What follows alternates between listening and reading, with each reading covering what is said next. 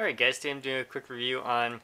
Now these are Asian um, cakes that are almost like traditional, almost decades old um, cakes and these are... I was recently in Vancouver and uh, this is a, what one of the things um, that the, it's famous for is um, basically uh, these are what they call um, wife cakes, okay? So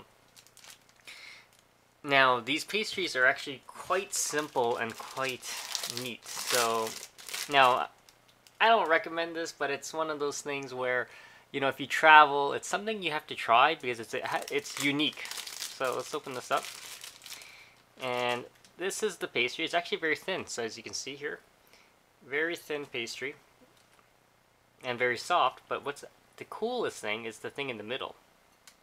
As you can see here, this thing is actually made from a vegetable, okay?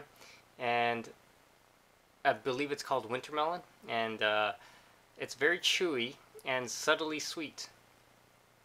So it's something to, to ch check out and to try if you ever go down to um, uh, Vancouver or any, uh, any, maybe Chinatowns will have it as well. So that's what it looks like. And taste-wise, it's chewy, it's soft, and it's very subtly sweet. If you have any questions, comments, guys, post them below. Don't forget to subscribe to the channel.